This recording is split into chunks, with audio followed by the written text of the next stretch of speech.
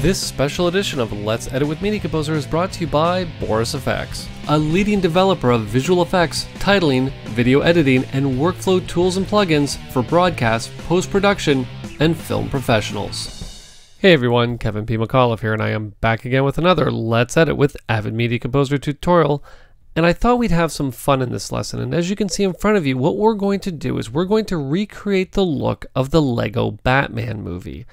And when I was coming up with the concept for this tutorial, I was thinking, okay, well, how am I going to go about doing this? Should I use BCC's extruded text? Should I make all the text in Illustrator and then import that as an EPS and extrude that? And then it occurred to me, you know what? I can do all of this work right from within BCC Title Studio, a fantastic, essentially, application that you have access to either inside or outside of Media Composer to do this exact type of work. And I'm going to show you how easy it is to get in and use this versatile plugin in this tutorial. Now before we go on, I want to remind you that these tutorials are designed to get in and take a very in-depth look at very specific aspects of editing inside of Avid Media Composer. But sometimes you just need to get the information and get yourself up and running lightning fast. Well, if that's the case, head on over and check out my macProVideo training series on Media Composer where lesson one will get you up and running in Media Composer in about an hour. Alright, so as I mentioned in the introduction, you have the ability to work with Title Studio inside of Avid Media Composer or as a standalone application.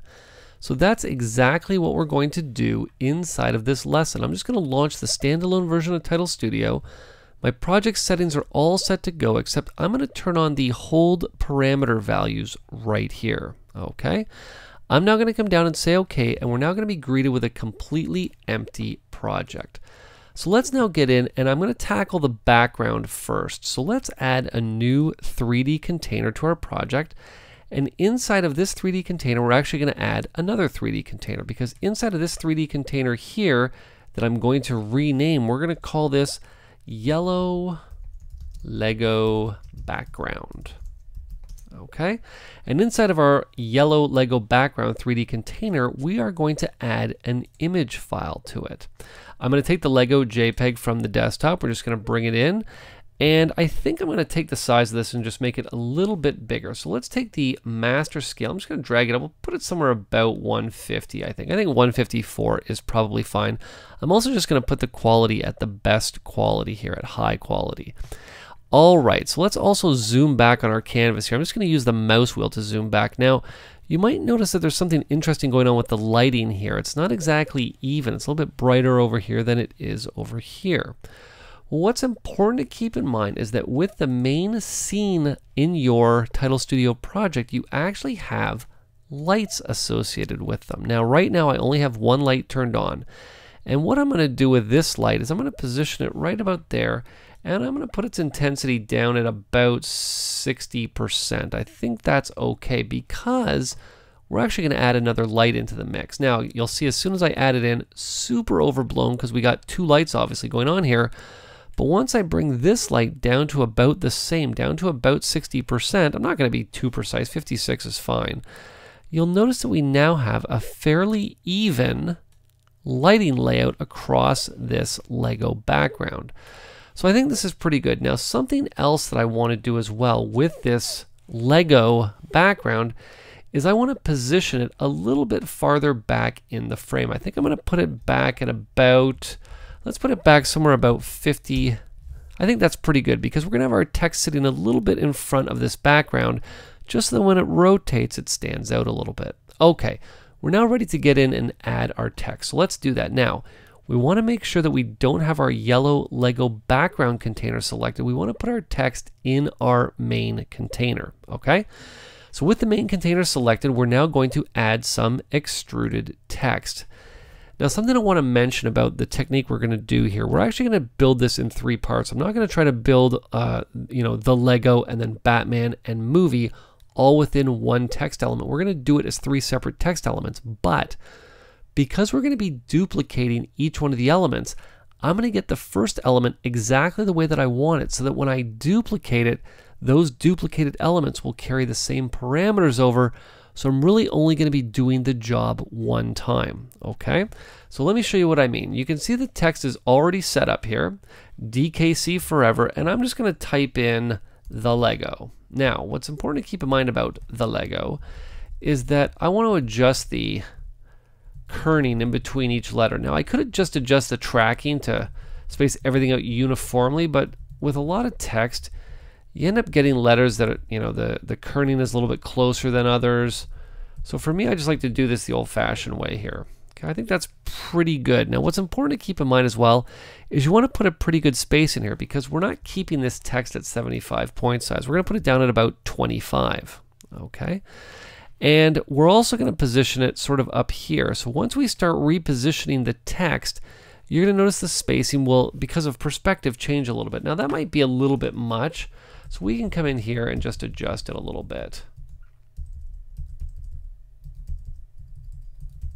And I think that's pretty good right there. Okay, so let's get our material looking the way that we want. So with the Lego, we're going to come down to our front material, and I'm going to come back to my controls tab and let's adjust the diffusion color to make it black. Okay, there we go. Our text is now black. But what we want to do is we want to get in and adjust the bevel as well. I'm going to come back to the main Lego layer and I'm going to come down to the material and I'm going to add three materials. So we're now going to have a front material, a bevel material, and an extrusion material. And you can see They've been added down here. There's the front, there's the extrusion, there's the bevel. Now for the extrusion color, it's going to be white, and so is the bevel color as well. Now the bevel might be a little bit much right now, but we'll find out in just a second. That's actually not too bad. I'm actually kind of happy with the way that that looks. Okay, so because I'm happy with this one here, we're going to duplicate the Lego, and we're going to do the movie next, okay? So it's actually going to be the Lego, and I'm just going to type in movie. Okay, now as soon as I do, you'll notice that that updates immediately down here in my timeline. Okay, now I also want to make sure that the movie is placed right below the Lego because we want to keep our stacking order as close to being the same as possible. Now we also also want to make sure that we grab the right layer that we're moving here. There we go, movie. I'm just going to put it roughly over there. Now one thing I'm also going to do is I'm just going to reposition these lights a little bit more out of the frame here. Just so they're not impacting the text too much. Okay. That's looking pretty good. I don't mind if the background's a little bit darker, okay? So last but certainly not least, we need the big one. We need our Batman here. So let's get in. We're going to type in Batman. And we're going to have this text up at about 75 point size. Okay, perfect. I'm going to reposition Batman right about there. That's looking good. Let's position him over here after the Lego movie here. We'll actually put the Lego movie at the top. There we go. And we're just going to position now movie right up underneath Batman. We're going to position the Lego right down on top of Batman. And so now we have the Lego Batman movie. Now, let me just come in. I just want to just double check my extrusions here. My extrusion's at about 1.5. I think I'm going to put that up at about 3. Give it a little bit more of an extrusion here. Okay.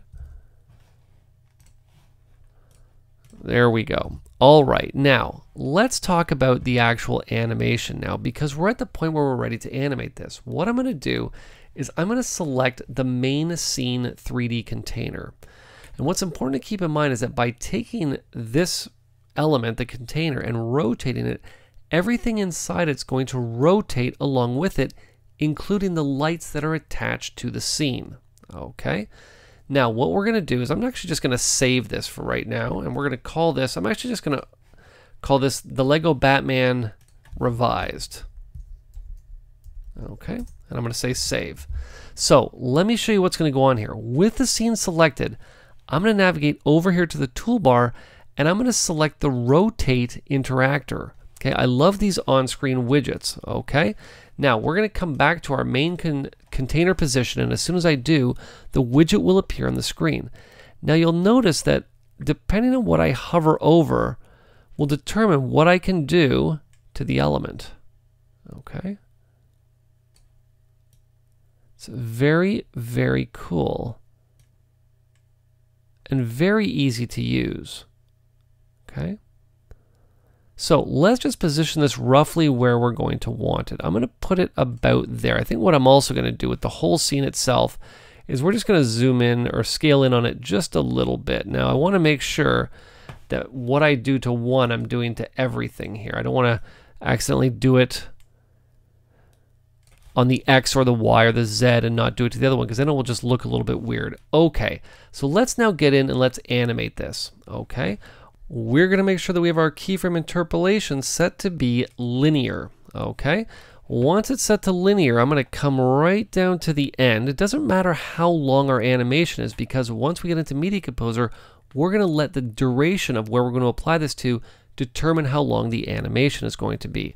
Once we get to this point here, I'm simply going to turn back on my keyframe interpolation to be linear.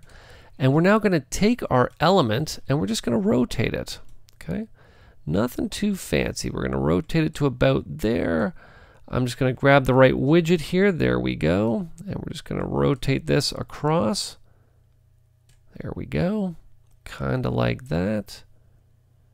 That's looking pretty good. And you'll now see that if I come back, we now have an animation of the Lego Batman movie. Now, of course, this is not playing back in real time, and you can see whereabouts we are as it previews, but I just want to preview it so I can get an idea of what it's going to look like when we get into Media Composer. Okay, and I think this is looking pretty darn good. Okay, I'm just going to stop it by hitting the spacebar and we're going to save this out again so that we have the final LEGO Batman revised. And you'll see it's called, called .blu. And what I'm now going to do is quit out of Title Studio and let's get into Media Composer and let me show you how we're going to take this and apply it to something in our timeline.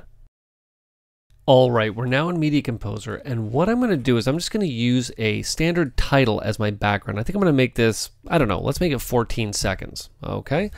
And I'm just going to take that, we're just going to drop it into our timeline, and we're going to come to the effects palette, and I could just type in BCC title, and you'll see Title Studio will come up right away as part of the 3D objects category. I'm just going to take the effect, I'm going to drag it and drop it onto the title. Now, we're just going to step into effects mode. I'm going to launch the Title Studio UI. I'm going to navigate up to the File drop down. I'm going to say Open Project. Inside of the Open Project window, I'm just going to select the Lego Batman Revised. I'm going to say Open, and there's my animation all set to go. And it's even taken the animation and stretched it out to fill the entire new duration of the clip it's being applied to. And all I have to now do is say apply. What I'm going to do is just make sure that I'm in best quality here. I'm now going to give this a quick render. Now, to be honest, this is 3D extruded text in a 3D application. You'd think that this is going to take a good few minutes to render, but if you take a look, it's actually only going to take me less than a minute to render this fairly complex animation. This is a good almost 15 seconds long, and it's only going to take me a minute to render this. Now remember, in a lot of cases to create something like this, you're going out to Adobe's After Effects to render to basically to get out to create, to render, to re-import. I've done all of it inside of Title Studio. Now keep in mind, I did it outside of Media Composer. The technique works exactly the same if you were to do it from within Media Composer as well. And the great thing is, is that once it's done, we can step out of effects mode, hit home to jump back to the beginning, hit play, and there's our animation looking fantastic right from within our Media Composer timeline. Alright, so I hope this tutorial has shown you why Title Studio is such a fantastic tool to utilize from outside of Media Composer as well as inside of Media Composer and with a little bit of thought, you can be creating some very cool animations lightning quick without having the need to leave your nonlinear editing application. Now, as we're wrapping up, I want to remind you that the great team at Boris Effects is offering a 10% discount on BCC10 AVX or multi host licenses, full or upgrades, again using the coupon code MC101. And finally, don't forget that if you have any questions, you have any comments, or you have any tutorial requests, you can send them to me at kevinpmcauliffe at gmail.com. This has been Kevin P. McAuliffe. Thanks a lot for watching.